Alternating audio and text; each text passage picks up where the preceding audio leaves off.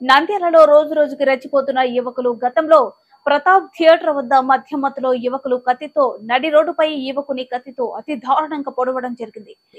నంద్యాలలో మరో సంఘటన చోటు చేసుకుంది. నంద్యాల పట్టణంలో ఎస్పీ కార్యాలయానికి పూతవేటు దూరంలో నడి రోడ్డుపై ఓ యువకుడిపై కత్తితో దాడి చేసిన ఘటన ఆదివారం కలకలం సృష్టించింది.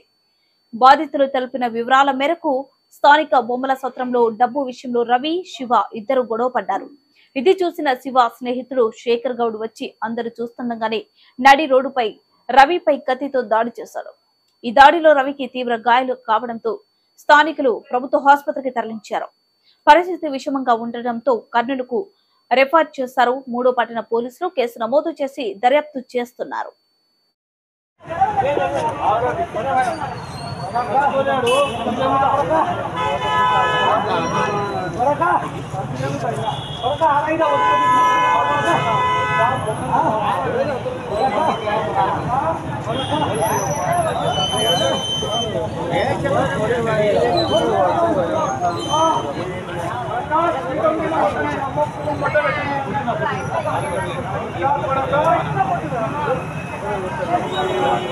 ఎవరో